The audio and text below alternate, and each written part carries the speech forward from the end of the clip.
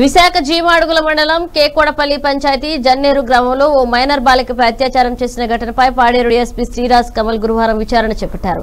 అత్యాచారం జరిగిన సంఘటనా స్థలాన్ని పరిశీలించారు. గ్రామస్తులను విచారించారు. బాధిత మహిళా కుటుంబ సభ్యులను విచారించారు. కేసు వేగవంతం చేసి తగిన న్యాయం చేస్తామని చెప్పారు. సిఐ డీజీడీ. బాబు ఎస్ఐ ఉపేంద్ర పోలీస్ సిబ్బంది.